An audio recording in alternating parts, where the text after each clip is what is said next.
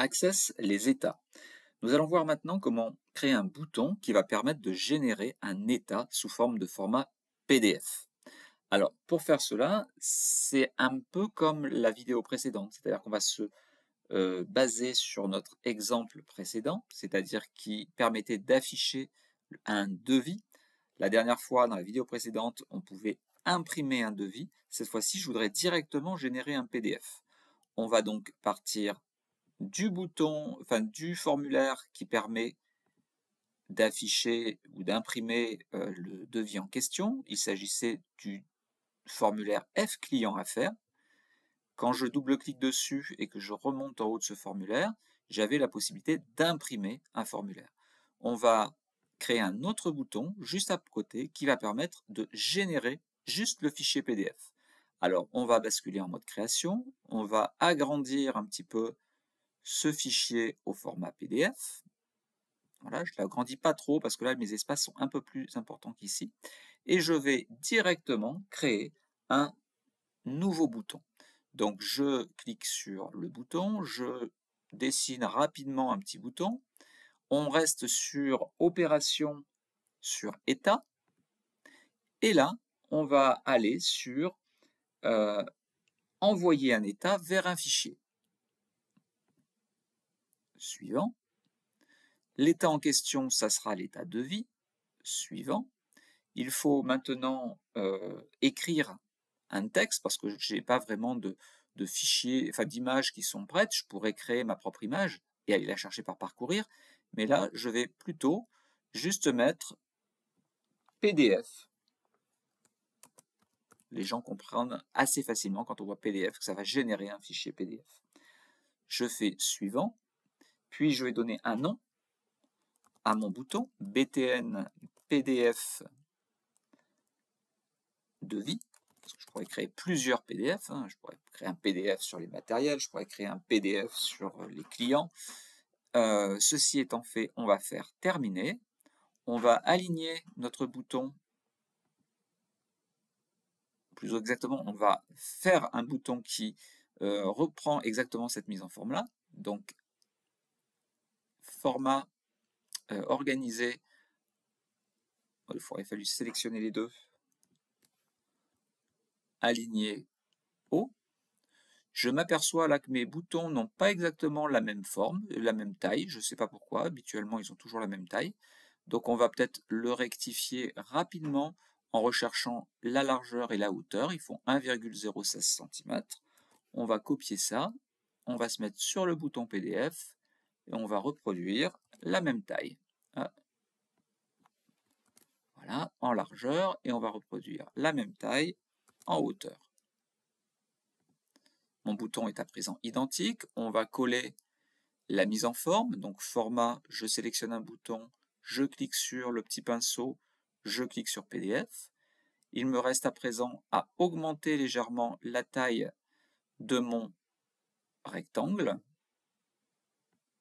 Cela paraît un peu juste. Là, j'ai le même espace à gauche et à droite. Je vais à présent sélectionner l'ensemble de mes boutons en appuyant sur la touche CTRL. Juste les boutons, pas le rectangle. Et nous allons faire un organiser, taille espace, horizontal équilibré. Voilà, et donc mes boutons s'alignent bien les uns à côté des autres.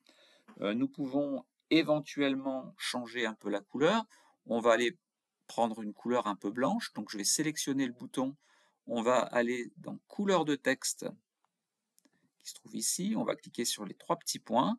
Et plutôt que de choisir une couleur au hasard, je vais sélectionner une couleur qui sera par exemple la valeur 241 de rouge, 241 de vert, 241 de bleu. Ça fera un espèce de blanc, mais pas tout à fait blanc. Voilà, donc on met 241 dans les trois couleurs, on a un blanc-gris. OK, qui euh, d'ailleurs ne ressort pas très très bien. Donc du coup, je vais rebasculer ici en demandant réellement un blanc qui ressort légèrement mieux. On pourrait même en plus le mettre en gras, ce qu'il fera bien ressortir cette fois-ci. On aurait pu le mettre couleur dorée aussi. À vous de voir ce que vous préférez.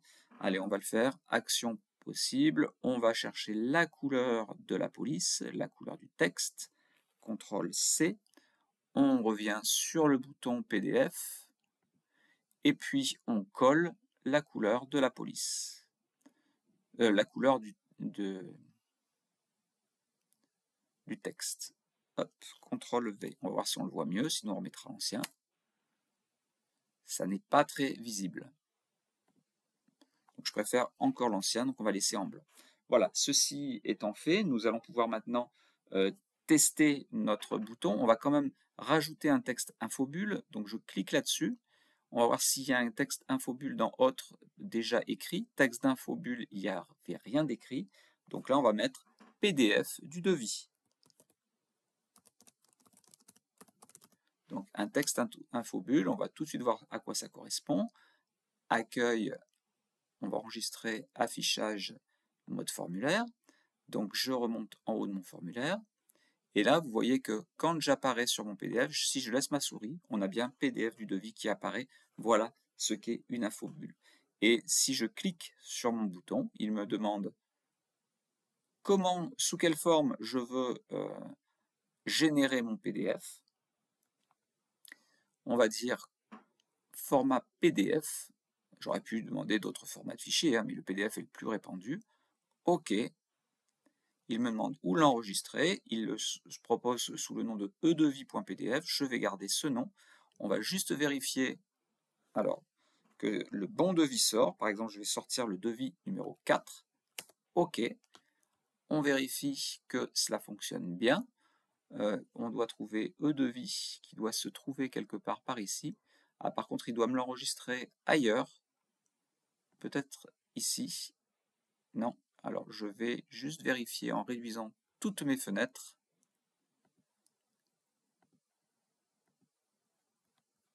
Alors, est-ce qu'on a E de vie ici? Non, alors il ne l'enregistre pas là. Dans mes téléchargements, probablement. Non plus. Alors, il me les a mis dans Documents. Donc, je vais dans Documents. Et là, on a bien notre E devis. Et donc, c'est bien notre devis 4 qui apparaît. Bien entendu, la mise en forme, vous auriez pu l'améliorer en fonction de vos besoins.